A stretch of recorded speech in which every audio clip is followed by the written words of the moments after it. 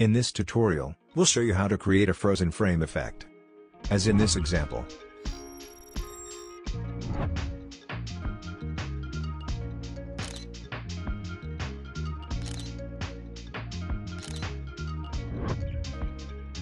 Our original video looks like this.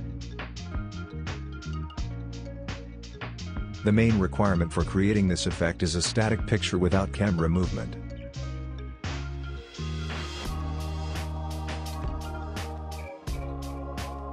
The first thing we need to do is select the position of the object in the frame that we will freeze. Let's choose the moment where the girl is in the jump.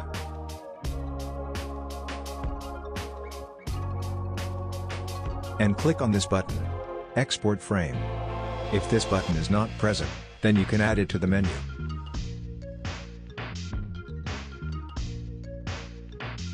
By clicking on the button, we see the following settings.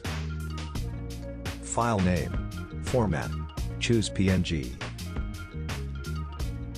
The location where the files will be saved can be changed by clicking this button.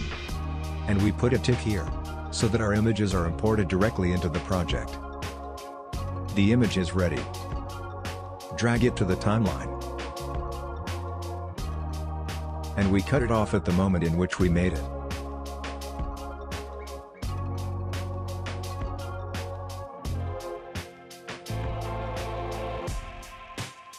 Now we have a regular image as the top layer and nothing happens.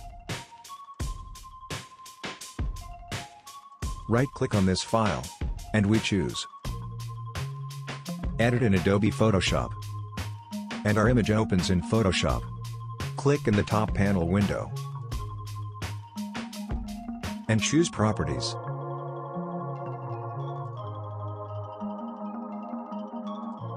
There is such a function. Remove background.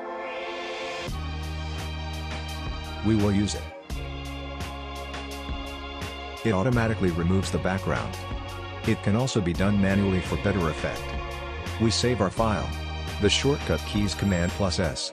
Or open the Files tab. Save. And return to Premiere Pro. Since now our layer has no background, we can see what happens on the layer with the view.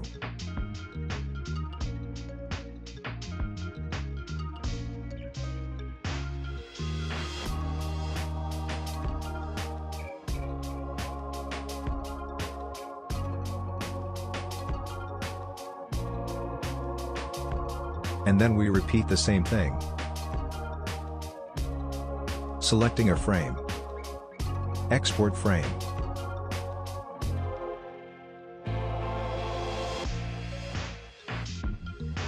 Drag it to the timeline until the moment where we made the file freeze. We transfer the file to Photoshop.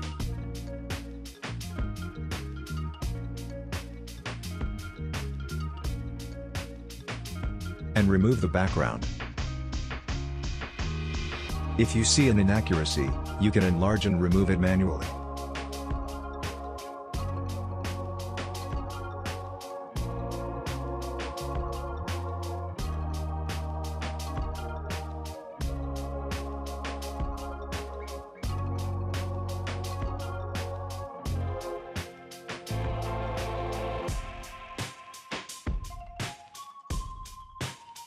And we get this effect.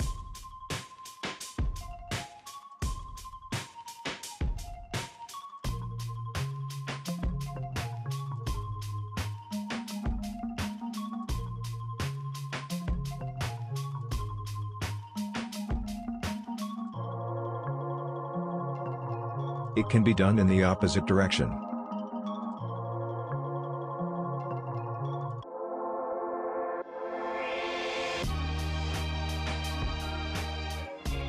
By simply moving the files with the selected object to the other side of the cursor.